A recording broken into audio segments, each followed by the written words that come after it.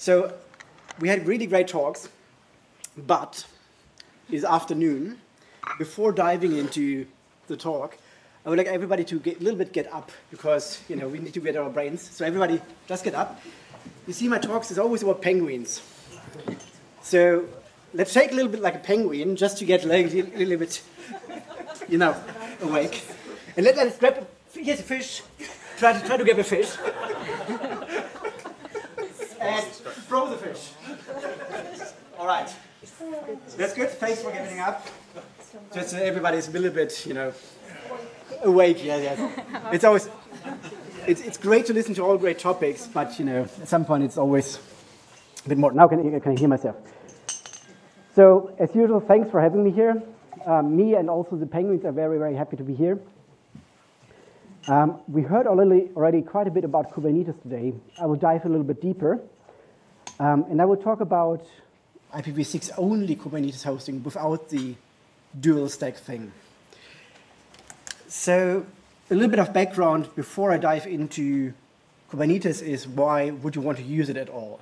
That, I think that's a very valid question because Kubernetes is a huge complex system. It's an orchestrator for deploying tons of containers and pods. But is it actually worth it? It's, I think, always the first question to ask yourself. So what we do at Ungleich is we are running managed and unmanaged hostings. Unmanaged just being like virtual machines, same stuff they get at Azure. We do also do managed hostings with a lot of different services. I'll come to this later. However, everything is 100% IPv6 enabled. There's not a single service that doesn't have IPv6. We have tons of services without IPv4, but none without IPv6. So when we approached Kubernetes, that was some years ago, I can tell you it wasn't the easiest path to come where we are today. Let me give you a little bit of an example of like what we actually do with Kubernetes or what we do in general with the managed applications. So we are running a lot of yeah, different applications, but it's all open source. You probably know most of them from Matrix as a chat tool, Nextcloud for data storage. We do tons of Django hostings for ourselves, for our customers, and we do Matrix again. Who checked those slides? Ah, anyway.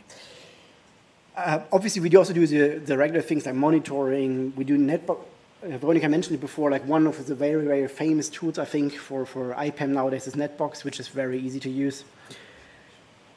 In a nutshell, we do a lot of different application hostings, and we need to find a way to put all of this together. How did we do it so far, like before the Kubernetes? We do have our own automation tool named CDist, which is a configuration management system, which is similar to uh, Puppet, Chef, Ansible, you name it. You all know those tools. We really like, still like CDist, and we actually use it for um, bootstrapping our Kubernetes nodes. And why don't we just continue doing it? Well, there are various reasons for it. And if you're in a large organization, you will notice that your developers they tend to like containers. There are good reasons for that. There are bad reasons for it, but there are also good reasons for it. Um, then we also have our internal staff who also likes to use containers because they're sometimes easier to handle than the raw operating system where you need to have a look at all the different details of, for each application. So if I just go back to the previous slide, you see here, for instance, Matrix runs very well on, on Debian. Netbox we are running, for instance, on Alpine. Uh, Prometheus we are running on Alpine. Django hosting we're running on Alpine. Mastodon we run again on Debian. So you always kind of have a zoo of operating systems that you don't need to care about when you're actually in the container world. Another thing, and this is the one thing I can really, really recommend if you're considering to go towards Kubernetes, is to think about GitOps as a flow. And GitOps basically just means you commit something in your version control and say, like, I would like to have this kind of state in my cluster. I want to have matrix of that version. I want to have next Nextcloud of that version. You commit it, you push it, and everything else is just taken care of. That is the, from my perspective, the major advantage of going with containers, or Kubernetes for the matter, because containers alone don't give you that. So after many, many years, we were still kind of reluctant because Kubernetes is still it's a huge instrument. But we see that there are there are certain advantages of going with Kubernetes for managing infrastructure. Now, when you want to go to Kubernetes, and we, we've heard it a bit from the previous speakers, well, you do want your stuff to be reachable, especially if you're an IPv6 only hosting provider, you want the stuff to be IPv6 only reachable. But Kubernetes is designed, and it's coming really from a world where there was only IPv4. And you can see this over the next 20-ish minutes, that a lot of things inside Kubernetes are designed around concepts of the IPv4 world. Fernando gave good examples before that a lot of things are actually similar. You can deploy stuff similar. But conceptually, you think differently if you start with IPv6. And you never heard about IPv4, really. So that's very different mindset. So when Kubernetes was released in 2015, there was around zero support for IPv6. In 2015, who thought IPv6, such a new thing, it was there for, remind me, 18 years? I don't know, 17, 18, yeah, my math is not so good. So what, what you got there was very interesting. You can already, like in the next years from 2015 until it was actually fully supported, there are different modes of failures in Kubernetes because every daemon, because it's a huge set of things that you run, every daemon has to support IPv6. And the Kubernetes developers, they early introduced like, all right, you can just pass me an IPv6 network and I will try to do the right thing for one or two of those daemons. I have 20, but for some. So over the years, you would deploy it and you would get different failures because some or more parts of the Kubernetes cluster would actually support IPv6. Until in uh, version 118, I think it was actually some versions before that unofficially IPv6 support worked. But officially, it was there in 118, which is, well, around three years ago, not that long ago. A little bit later, Kubernetes also introduced officially dual stack support for, for the networking stack. And why is that? The concept of Kubernetes is a pod has one IP address. And that one IP address can be either IPv4 or IPv6 for some time. That was changed with the version 123. A pod can officially have two IP addresses, one from each family, which is much better. So lesson learned, uh, it only took roughly six years from going from no IPv6 to dual stack support, which, you know, better than never learned. So when we look at Kubernetes, I think we, we kind of have to look at it from two different sides. One side is, does Kubernetes, the stack, support IPv6? Can I actually run, hypothetically, anything, my own application in it that supports IPv6? Can I make it reachable IPv6-wise? This is, from my perspective, the Kubernetes stack itself. And then the other question is, well, you have tons of standard applications. Do they actually work properly? Does my Nginx work with uh, IPv6? Does my other web server, my mail server, my application, does it actually support IPv6? Because it's great if my stack supports IPv6, but my application doesn't. Then, you know, half the problem solved is not solved. Some um, I would say, rather famous examples there from my side. Um, Nginx, the web server, probably everybody who has come into touch with technology here has, know, knows about it. It actually has a second directive where you need to say, like, well, you need to listen on IPv4 and IPv6. So if you only do one, it doesn't work. Or Ceph, which is a very um, famous storage system, actually has a bind option. If you don't enable it, it doesn't listen on IPv6. But well, those are easily solved if you know about it. We heard a little bit before about Kubernetes, how it's deployed in Azure today. I, I will focus a little bit more on Kubernetes itself. So if you deploy it yourself, like what it actually can do. This is not about limitations of cloud providers, but more about what Kubernetes itself allows you to do. Generally speaking, Kubernetes actually doesn't really support networking, which is interesting because Kubernetes you know, has a lot of containers and needs to bring them together. But the only thing that it, it actually does support is something called container network interface, which, you know, if you're looking at me like, what the fuck? I'm, I'm, in the UK. Am I allowed to say that? Ah, wait. sorry. sorry, sorry. Uh, you know. So, uh, scratch that from recording. You can, you know, bleep. Um, well, so coming back to that. So Kubernetes doesn't know about networking, it just knows it has an interface to networking. And the whole concept of Kubernetes is it has a lot of interfaces to a lot of things. Kubernetes also doesn't know how to run containers. Seriously, it doesn't. But Kubernetes has the container runtime interface, which might be Docker, which might be CRIO, which might be Podman, you name it. Which is good design-wise because it's abstract, but it's also bad design-wise because you have to know or you have to decide every time you're running Kubernetes, well, what kind of container runtime am I using? What kind of networking am I using? You have to take a decision if you run it yourself. Good news again, if you use a CNI, you can use a CNI that supports IPv6 or doesn't support IPv6, whatever you not want or whatever you need. I'll give you, give you three interesting examples.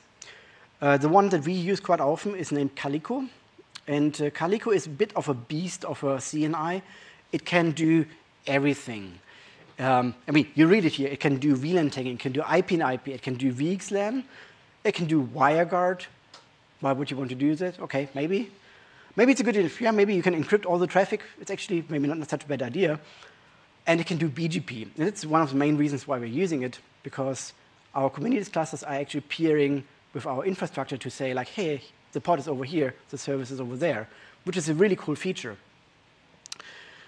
The disadvantages of Calico, it actually, when you deploy Calico, you actually have a daemon that is deploying Calico itself. You're not deploying Calico, it's kind of like the CNI that manages the CNI. So it's getting even one more layer of indirection there. However, and, and that is great, Calico even supported dual stack networking in Kubernetes when Kubernetes didn't support it because they just faked it. They just faked an IP address and gave the pods two IP addresses. So this is really amazing.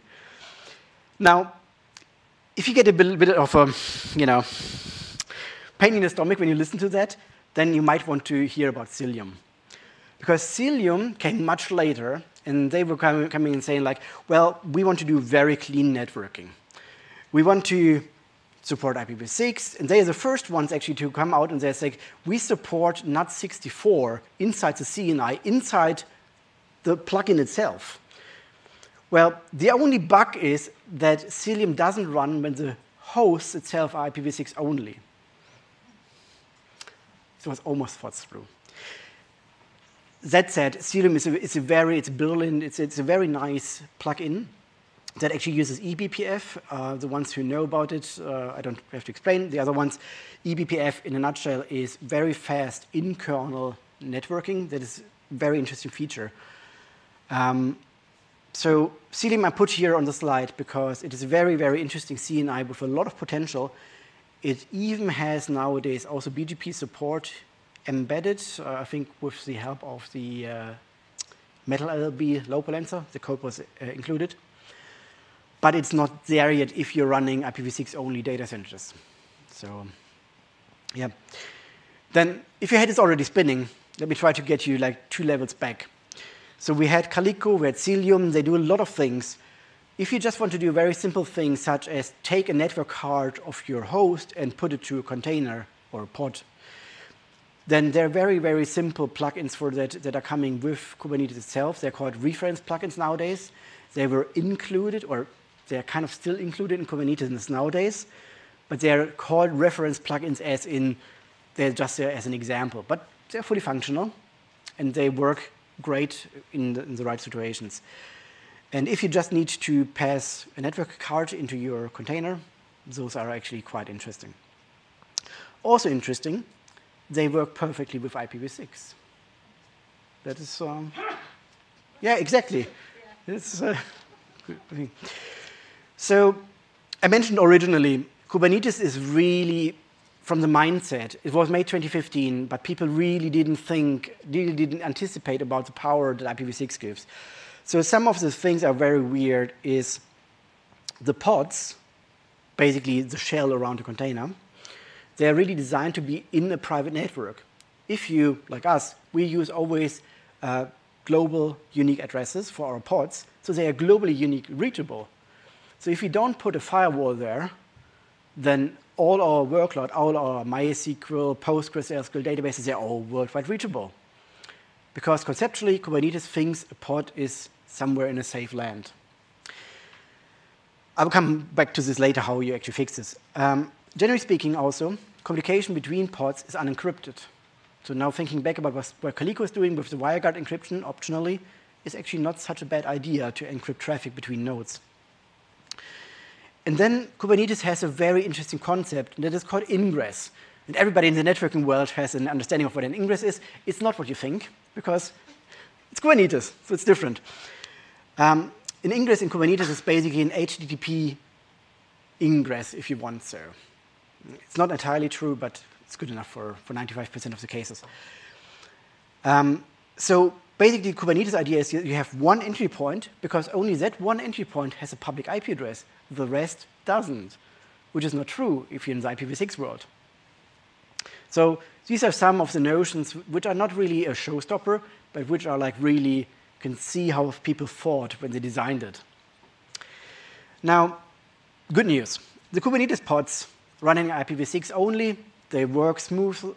They don't have any, any single problem. You can throw in your slash 64 network. It's brilliant. It behaves exactly like you want nowadays. Now, if you have your pods and you, if you want to isolate them from the rest of the world, which you might want to do, then you can use a very easy tool. It's called network policy, which basically says pods labeled with something are accessible from somewhere. In a nutshell, it's just a firewall embedded in Kubernetes, but actually quite a easy to handle one. Let's come to Kubernetes services. And for those who are not deeply into Kubernetes, a service is basically an abstraction to a number of pods. So you say you have a web service somewhere, and your pods are ephemeral. They come and go, and they change their IP addresses. But the service stays here and always selects the pods which are right now alive and running. So they abstract away the IP address or the name to the pods. Now, services design-wise are internal. I put big quotes here because, you know, it's IPv6. So why should they be internal? Now, it gets even more funky because the designers of Kubernetes were thinking like, well, a service, there are only so and so many services in your cluster. So we will have a mapping table somewhere. The mapping table, we allocate the size of the maximum services beforehand. Does anybody see this going wrong? 64-bit saving in a database, I think you're not going to do that. They are not. So what they did is actually saying like, well, services we just limit it to 20-ish bit. This is what we can handle. Because nobody needs more than 604 kilobytes of RAM, huh? Same thinking. This is a very old bug, and it's been discussed for a long time, and uh, it's, eventually it's going to be fixed.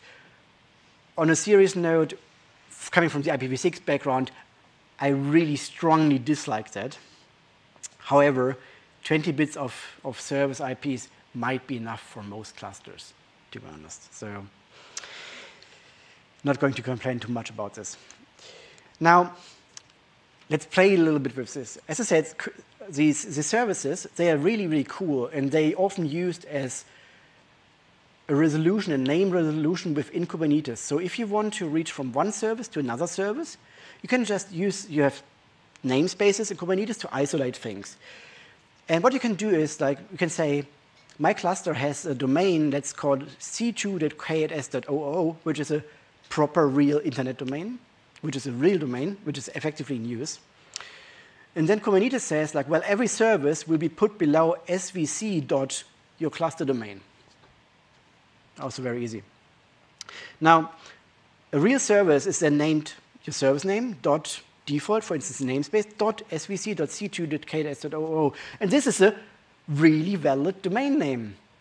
So with services and Kubernetes, you get automatic DNS for free for your services, which are internal. I'm striking the quotes now. They're not really internal because they are worldwide reachable. This is a side effect of the designs of Kubernetes, which you can use. And you get full global automatic DNS for your services. Nothing to be done. So really cool. Going further into Kubernetes and the DNS. So Kubernetes is by default using core DNS nowadays. And core DNS supports DNS64, which is also very welcome to see. So if you are deploying an IPv6 only network, you can just put your DNS64, your NAT64 prefix into it, and all the pods can reach uh, the internet. When you upgrade Kubernetes, it will tell you, hey, there's an option in the DNS server that I don't recognize, but I don't care. I will just continue and upgrade. So that also works nicely. Then another concept from, from the old world. Um, Kubernetes has this concept of a load balancer. Load balancers always have a public IP address or are intended to have a public IP address. Um, they are a bit more flexible than the ingress, um, but very similar notion. Uh, in, the, in the IPv6 world, you can do exactly the same thing with a service. And actually running, if you're running bare metal, it might be easier to run a service that does the same thing as a load balancer. That's um, also a nice side effect of using IPv6. So then something that is a little bit, this is one of the biggest worries or the biggest complaints from my side about Kubernetes. Inside Kubernetes, the idea is you have a lot of different nodes. And on these nodes, somewhere your containers are. It's really cloudy. It's really concept cloud very well implemented because you have no clue where anything is running. It's, it's perfect. It really describes the cloud. And how the traffic is handled is there's a tool named kubeproxy. kubeproxy takes the traffic for any pod on any node and forwards it to the right node. Now, those of you who think like, oh, well, that's routing, that's something we, we developed like 40 years ago. That's something, you know, every, every network device can do. No, no, no, no, not in Kubernetes. Kubernetes, we take it as a proxy on a layer 7, and we actually resend it with, a, with the IP address of the node to another node. So what you actually do is, when anything that goes through kubeproxy loses the source IP address by default if you're not adding extra effort to actually keep the IP address there. So this is one of the biggest bugs that is really originating from the way how Kubernetes was designed in the early days. There are efforts to completely remove kubeproxy from Kubernetes. Um, Calico can do that, but only for uh, legacy, for IPv4 only clusters, not for IPv6. And Cilium also tries to remove it with using the eBPF uh, plane, data plane. So work in progress, but one of the weird thing, if you see a lot of traffic from within your cluster, then it's just because IPs have been rewritten within the cluster. So in a nutshell, and, and this is, I think, the really, really good news from my side, Kubernetes works very fine with IPv6. That is Kubernetes, the technology itself. Concepts you can really see, like they're being dragged on from the legacy IP time they don't stop you from using IPv6, but they also don't help you uh, deploying it. But there's nothing, I mean, we have heard before the examples from, from Azure and Amazon and co, where things are not fully, let's say, the way how you expect it, but that's more a limitation of the cloud provider. It's not a limitation of the Kubernetes stack. So if you deploy it yourself, you can run it both IPv6 only and dual stack without any problem. Um, yeah, like I said, um, Cilium internally supports, in theory, NAT64. That's one of the things we really would like to explore because this is one of the hard things actually to do. And we're trying to get back actually with the Kubernetes community and the developers to revise all those concepts, whether they are still actually valid or whether they yeah, need to be rethought. That's it from my side. I hope you enjoyed it. Um, some things that I always put at the end is like, in case you're into IPv6, and there's a new thing, I always put a new thing here on the slide. So there's a new, must, everybody has heard about Twitter and shooting rockets into space, um, or not, for the matter. So in case you, you follow this development, there's now an IPv6 social Mastodon instance. So if you're into IPv6, and in a lot of other IPv6 chat again, that's from my side. I hope you enjoyed it. And yeah, if you have any questions, happy to hear them. Okay. Thank you very much, Nico. I can see a hand up.